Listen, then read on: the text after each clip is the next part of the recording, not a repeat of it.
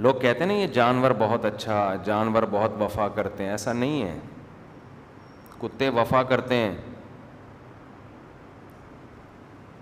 लेकिन आपसे वफा में सामने वाले पे जुल्म भी कर देते हैं वो।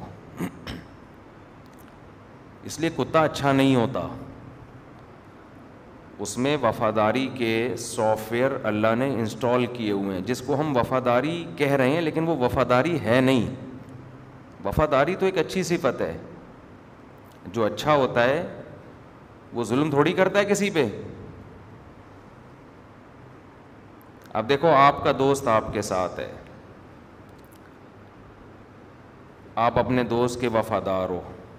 उसका हमेशा साथ देते हो। अच्छे कहलाओगे ना? क्या ख्याल है? लेकिन एक साहब आए। उन्होंने आपसे कहा कि आपके दोस्त ने मेरे एक लाख रुपए लिए हैं जो वापस नहीं कर रहा। लिहाजा मैं हर कीमत पे आपके दोस्त से एक लाख वापस लेके रहूँगा, वो दे नहीं रहा, उसके पास हैं, फिर भी नहीं दे रहा। मैं जाऊँगा, उसका गरेबान पकड़ूँगा। आप कहते हो मैं अपने दोस्त का वफादार हूँ, उसके एक पाई भी निकाल के दिखाओ तुम। अब बताओ, ये वफादारी अच्छी है या बुरी है? बुरी है, जुल्म में आप साथ दे रहे हो। आप पहले तफ्तीश करो, अपने दोस्त से पूछो, क्या कह रहा है भाई ये? तुमने इसके लाख रुपए लिए हैं? वापस क्यों नहीं कर रहे? वो कहे हाँ लिए हैं। तो यार, वापस करो ना। क्या पैसे हैं नहीं देने के लिए? हैं, जेब में रखे हुए हैं। तो दो ना, नहीं दे रहा। आप कहेंगे, यार, तुम तो गलत कर रहे हो। अब दोस्त कह रहा है कि तुम मुझे ये नहीं कह सकते गलत कर रहे हो कि सही कर रहे हो। तू तो मेरा दोस्त है। तूने मेरा ही साथ देना है। ऐसे मौके पे इंसान होगा, अपने दोस्त का साथ नहीं देगा। कुत्ता होगा तो साथ? बोलो ना, देगा। कुत्ता देगा। कुत्ता इस तफ्तीश में नहीं जाता कि मेरा मालिक सही है या गलत। कुत्ता इस तफ्तीश में नहीं जाता ये मैं इसलिए कह रहा हूँ कि आज ना गैर मुस्लिमों के यहाँ तो अच्छाई और बुराई का मैार ही चेंज हो गया है। उनके यहाँ जानवर भी अच्छे होते हैं, बल्कि बाज़ ने कमेंट्स किए होते हैं, जानवर इंसानों से अच्छे हैं। ना जानवर बुरे हैं, ना अच्छे। हम तो कुत्ते को भी बुरा नहीं कहते। खिंजीर और सुअर को भी बुरा नहीं कहते। वो तो जो है अल्लाह ने जैसा बना दिया उनको। जानवर अच्छे होते तो जन्नत मिलती उनको। बुरे होते तो जहन्नम में जाते। नहीं आ रही बात समझ में? रिवायात से पता चलता है, माँ अपने बच्चे को अपनी छाती से दूध पिलाती है। एक एक घूंट पे उसके दर्जात बुलंद होते हैं। एक एक घूंट पे नेकी मिलती है। बकरी अपने बच्चे को दूध पिलाती है, उसे बच्चा नहीं मिलता, सवाब तो दूर की बात है।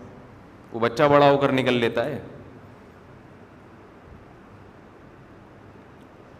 तो जानवर जो पाले ना, अल्लाह से मोहब्बत के लिए, क्योंकि उसमें आपको नेचर नज़र आती है, फितरत।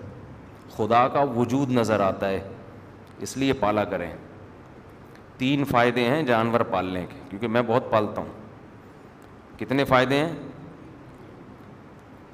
एक तो हराम जानवर ना पालें। कुत्ते ना पालें। बिल्ली भी कोई पसंदीदा, जायज़ है पालना। पसंदीदा काम नहीं है। जायज़ है।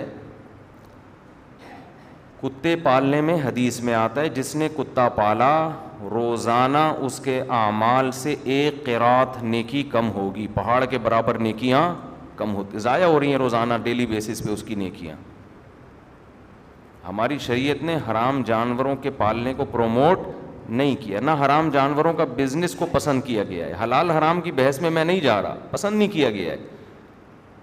इस्लाम चाहता है वो काम करो जिसका इंसानियत को फ़ायदा हो। कुत्ता क्या काट के खाएँगे आप? वही बात है, वफादार है तो पालते हैं। वफादार है, उसकी वफादारी से फ़ायदा उठाना है, ज़रूरत है तो ठीक है। ज़रूरत नहीं है तो ये कोई ऐसी वफादारी नहीं है जिससे दिल लगाया जाए। देखो आपका दोस्त वफादार होगा ना। टाइम पे काम आया, वफा की है। आपके काम का ना भी हो, आप उसको वफादारी के बदले में पाल लो दोस्त को कि यार ये मेरे फला मौके पे बोलो ना, काम आया था। कुत्ता जो है ना, कुत्ता, वो जानवर है। मैंने अभी कुत्ते पे पूरी रिपोर्ट पेश की आपको कि उसकी वफादारी का उसको सवाब नहीं मिलता।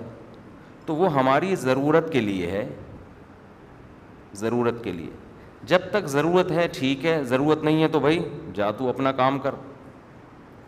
ज़रूरत होती है हिफाजत के लिए। वाकई अगर ज़रूरत है हिफाजत की, ठीक है, आप पाल सकते हैं उसको। फ़ौजियों को ज़रूरत होती है या कस्टम वालों को ज़रूरत होती है अपने लिए। कि वो चेक करके बताएँगे कि इसमें कोई नशा वशा तो नहीं है तो कुत्ते सूंघ के बता देते हैं कि भाई इतना तेरा, इतना मेरा। वो पहले रिपोर्ट पेश कर देते हैं। ये फ़ायदा होता है कुत्तों का। किसी ने, चलें, छोड़ें, फिर बात लंबी हो जाती है। कस्टम वाले भी बयान सुनते हैं। हमारे एक जानने वाले कस्टम में थे, उनकी तरक्की हुई तो वो परेशान हो गए। हमने कहा, लोगों की तरक्की से बंदा खुश होता है, तनख्वाह भी ज़्यादा हो गई, आपकी परेशान कहते हैं, यार, अब ऐसी पोस्ट पर हूँ कि खाने का ज़्यादा मौका मिलेगा नहीं। हलाल तनख्वाह तो डबल हो गई है। लेकिन जो खांचे थे, वो तो नीचे वालों के हाथ में अब फ़िल्टर होके आएगा, जो मेरे पास आएगा। खैर तो बात कहाँ से कहाँ जा रही है यार? एक रुपया भी कोई किसी का खा ले ना, एक रुपया भी। वो क़यामत में एक रुपया की सूरत में नहीं मिलेगा वापस। तो कस्टम वाले जो माशाल्लाह, जो मेरा बयान सुन रहे हैं, उनके अलावा की बात कर रहा हूँ, जो तबीयत से रिश्वतें खा रहे हैं ना, ये खुश ना हो, खुश ना हो। क्योंकि मेरे भी कुछ दिन पहले बाहर से कुछ आया, वो कस्टम वाले पी गए वो। अल्हम्दुलिल्लाह, वो पी गए, वो मिला ही नहीं वापस। हमें जाने में ताख़िर हो गई, अल्हम्दुलिल्लाह, अल्लाह का बड़ा फजल हो गया। हमने कहा, वो इतनी महँगी चीज़ नहीं थी कि हम उसके लिए इतना दर्द सर लेते। पी रहे हैं, पीने दो। तो मसला ये अच्छे बुरे हर जगह होते हैं, सारे एक जैसे नहीं होते। मैं बार बार कहता हूँ, जो बयान सुन रहे हैं, वो बेहतरीन लोग हैं, उनके अलावा की बात कर रहा हूँ। तो बात ये चल रही थी कि आप कुत्ता पालें जब ज़रूरत पूरी हो छोड़ दें उसको। रेवड़ के लिए पालना है। बाज़ लोगों ने छतों पे परिंदे पाले हुए हैं, चोरियाँ होती हैं, वहाँ के लिए कुत्ता। ये शरीयत का कितना बड़ा एहसान है कि एक जानवर को पसंद नहीं किया, इसके बावजूद ज़रूरत के लिए उसको इस्तेमाल करने की इजाज़त दे दी। क्यों दे दी? इसलिए कि ये जानवर हमारी खिदमत के लिए पैदा हुए हैं, खिदमत के लिए। जब तक खिदमत है, ठीक है।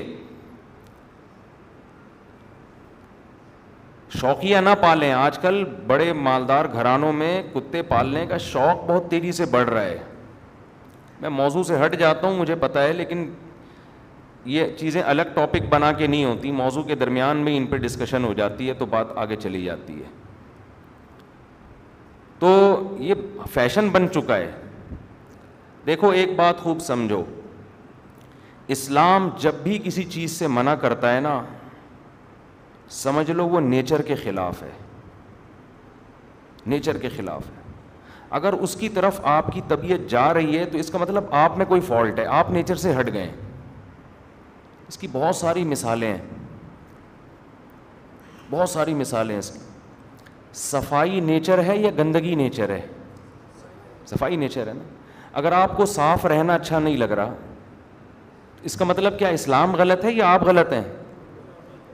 क्या सबको साफ़ रहना अच्छा लगता है? बोलो, नहीं नहीं, कुछ लोग ऐसे हैं जो मैले कुछ ऐले, नहीं, हमने अपने बास हमारे जानने वालों में से हैं।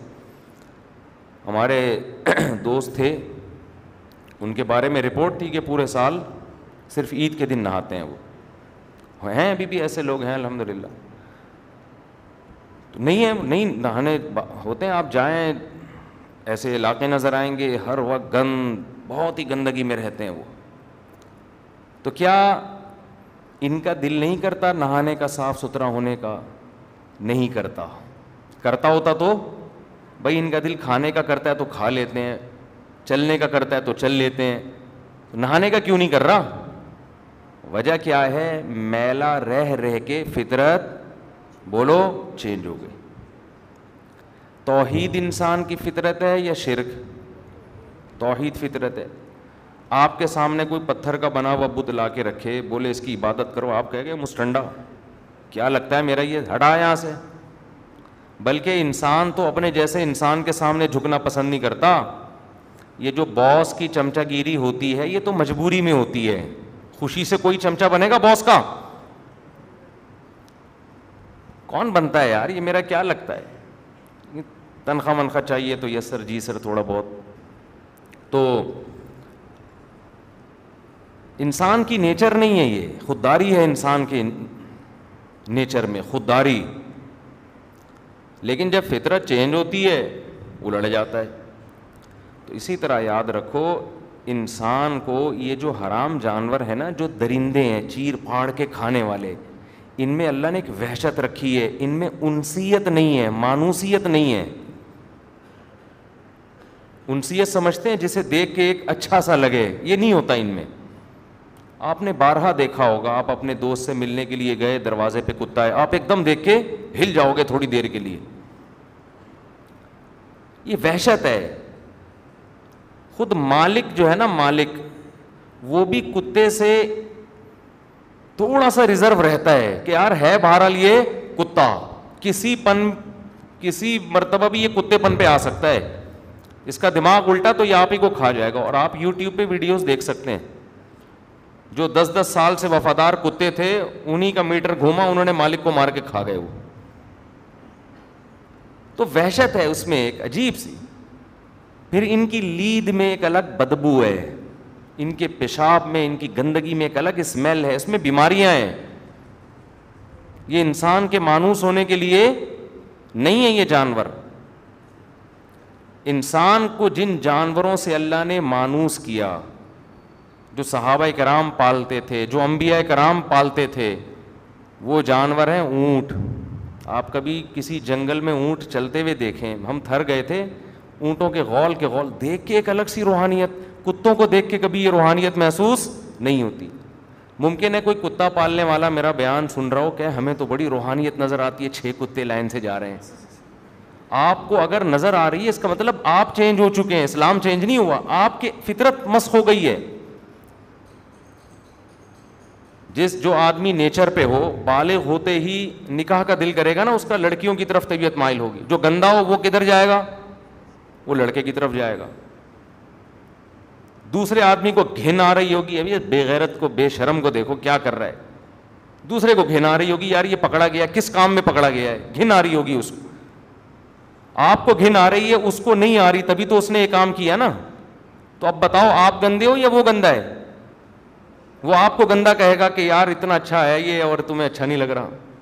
है भाई सुबुक्तगीन साहब, कितने अच्छे हैं। मैं अपने अब्बा की बहू बना रहा हूँ इसको। यूरोप में तो होने लगा है ना, मैं बताता हूँ बार बार यूरोप में जब बेटा कहे ना अब्बा मेरी शादी कर दो तो पूछते हैं, मेल से या फीमेल से? ये सिस्टम अभी वहाँ चलने वाला है। तो हम इसको लतीफ़ा समझते हैं, लेकिन वहाँ एक चीज़ कॉमन होती जा रही है। तो अब आप बताओ, इस्लाम बुराई या उन्होंने बुराई को प्रमोट किया है? ये तो नेचर थोड़ी है ये। कोई जानवर ये काम नहीं करता। तो ये बात सिर्फ़ मैं ये दिमाग में बिठाने के लिए कि इंसान जब उल्टा होता है तो उसे हर चीज़ उल्टी नज़र आती है। उसका हल ये नहीं है कि सब चीज़ों को उल्टा कर दे, उसका हल ये खुद सीधा हो जाए।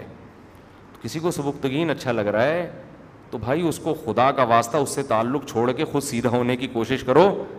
जो नेचर है तुम्हें वो अच्छी लगने लगेगी थोड़े दिनों में। कोई भंगी है जिसको नहाने का दिल नहीं कर रहा, उसको ये नहीं कि सबको मैला कर दे वो। उसका तरीका ये, एक दिन उसको सर्विस स्टेशन ले जाके तेज़ाब से नहलाओ बार बार नहलाओ, खुशबुएँ छिड़को, थोड़े दिन में उसको सफ़ाई अच्छी लगने लगेगी। इसलिए जो लोग कुत्ते पालते हैं, बिल्ले पालते हैं, उनसे मैं कहता हूँ, कुछ दिन ऊँट, बकरियाँ, भेड़, मुर्गियाँ पाल के देखो। मेरे दोस्त, हमारा ये शागिर्द कह रहा था कि आज मुर्गियों पे बयान होगा। मैंने इस हफ़्ते मुर्गियाँ बतखें खरीदी ना, कह रहे, आज हो नहीं सकता कि मुर्गियों पे बयान ना हो। मैंने कहा, नहीं होगा, आज कोई टॉपिक ही नहीं है। लेकिन ये इसलिए नहीं हुआ कि मैंने रखी हुई वो इत्तेफाक से इत्तेफाक से।